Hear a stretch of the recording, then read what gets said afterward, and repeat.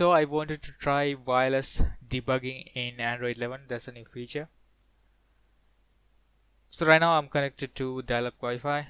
You have to be in the same network on your mobile and your PC in order to connect wirelessly. Let me show you the version Android version. As you can see I'm running Android 11 this is still in beta. And I have enabled develop options in here you will find a new option called wireless debugging.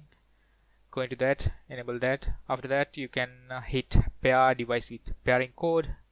That will give you an IP address and a port. Once you have that you can uh, pair the device ADB pair then IP address and the port. Once you hit enter it will prompt you to get, um, enter the pairing code enter the pairing code after that you should be able to connect uh, to the uh, to the device. To connect to the device you should use this IPN port. I think IP is the same for pairing as well. But port is different. However um, enter the IP address and port. And once you hit enter you should be you should be connected to, to the device now for for recording I'm using an application called uh, this scrcpy however you pronounce it. I think this is cross-platform.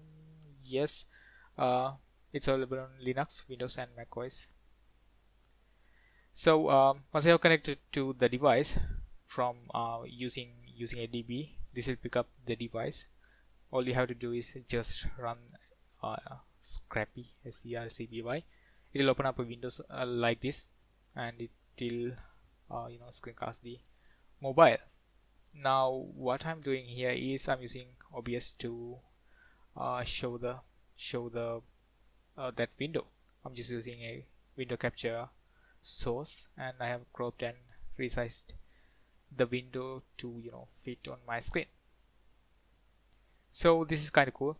Uh, though I have I'm seeing some slowness as you can see on the screen probably. Uh, I don't know what's wrong with this one. I don't know if it is my Wi-Fi or the application is crappy or, or the Android beta. I'm not sure but um, I'm seeing a, seeing a slowness however it's kind of cool to connect to your mobile and screencast wirelessly completely. Maybe I'll create another video where I'm going through the same uh, same stuff but in details. But for this video this is it.